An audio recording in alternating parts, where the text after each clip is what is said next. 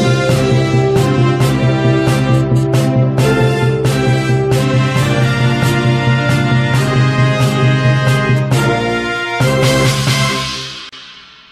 Giovanni Mantovani, direttore generale di Verona Fiere. Eh, siamo a Fiera Agricola, un uh, successo dal punto di vista anche numerico che si sta già prospettando, anche se ancora siamo appena agli inizi. Insomma. Eh, prospettive e soprattutto insomma, come, come, come, la vede, come l'ha vista lei in questi primi due giorni? Vedo una fiera agricola veramente importante, perché la presenza di oltre mille espositori dà solo chiaramente una dimensione, già questo, l'importanza della manifestazione, ma soprattutto il fatto che dentro Fiera Agricola potriamo, possiamo oggi trovare tutti i mezzi di cui la, l'azienda agricola ha bisogno. Quindi vista a rovescio l'azienda agricola può venire qui a Fiera Agricola e trovare tutte eh, le attrezzature, le tecnologie, le innovazioni, eh, le eh, soluzioni anche per i propri problemi cui necessita nella sua attività eh, quotidiana o di programmazione. Fiera Verona in generale, ma Fiera Agricola in particolare, è ormai un punto di riferimento anche internazionale in questa fiera, che ci sono oltre 33 paesi, delegazioni di paesi certo. che partecipano. E un dato anche su questo, su questo, importante punto di riferimento che ormai è diventata anche Fiera Agricola e Verona Fiera in generale. Beh, siamo al 120 anniversario della Fiera di Verona Fiera di Verona è nata con Fiera dell'Agricoltura, quindi poi eh, questa era 113 perché da un certo punto in avanti siamo diventati biennali e quindi eh, quello che posso dire è che fin dalla prima edizione Fiera Agricola è stata una manifestazione veramente internazionale perché tutti ricordano gli anni in cui qui si scambiavano le, le capacità, le conoscenze fra le grandi agricolture del mondo, quella russa, quella americana, quella del nord Europa, quella francese, non nascondo che ci piacerebbe, lo stiamo discutendo da un po' di tempo, eh, ragionare su eh, una fiera agricola, eh, poi può chiamarsi fiera agricola o la soluzione si trova con un partner cinese da fare in Cina perché crediamo che molte delle tecnologie italiane abbiano ampio spazio anche su quei mercati e con la Russia, con la Russia c'è un rapporto veramente stretto in tanti dei settori che noi gestiamo e? Tante delle tecnologie specializzate, innovative, sulle quali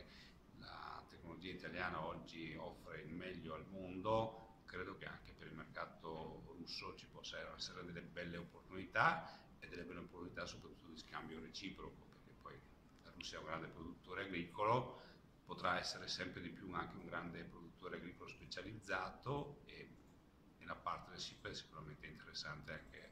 quindi ancora il Veneto, la famosa via della seta Veneta diciamo ancora funziona per i paesi euroasiatici. Beh, insomma, io sono fra i grandi sostenitori della via della seta e la via della seta poi passa un po' più a sud, un po' più a nord, però alla fine coinvolge paesi sui quali certamente tutta l'Eurasia è coinvolta e noi guardiamo con grande attenzione a questa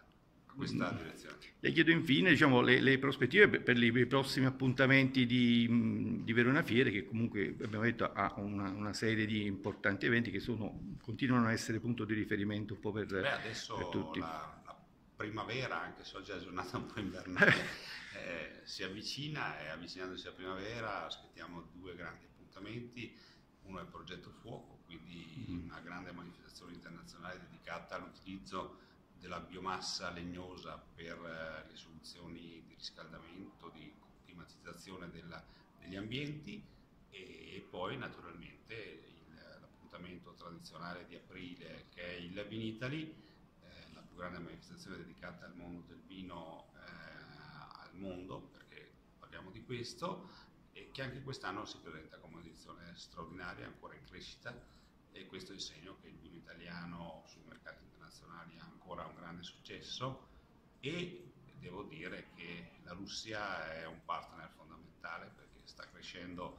come mercato in maniera significativa e ci piacerebbe anche poter essere di contributo a far crescere anche un'attività che ho visto diventare sempre più interessante che è quella della produzione di eh, vino eh, in, eh, nella, nella Repubblica Russa. Ho assaggiato dei vini di grande interesse e perché no, credo che anche si possa possano sviluppare delle partnership e delle collaborazioni proprio su questo. Un'ultimissima battuta le chiedo su um, Eurocarni, che è, una, è, un brand sempre di Verona Fiere, che è una fiera nella fiera, tutto sommato. Insomma, se... Beh, Eurocarne è una manifestazione di grande tradizione eh, che,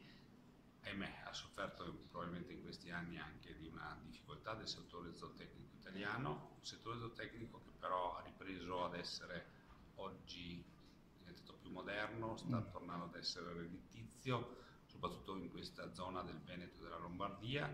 e quindi è un'Eurocarne che abbiamo fatto con grande attenzione sia alla parte delle attrezzature e delle macchine per la lavorazione ma anche con un occhio rivolto al mercato perché la collaborazione con l'associazione dei macellai è stata voluta proprio per comunicare che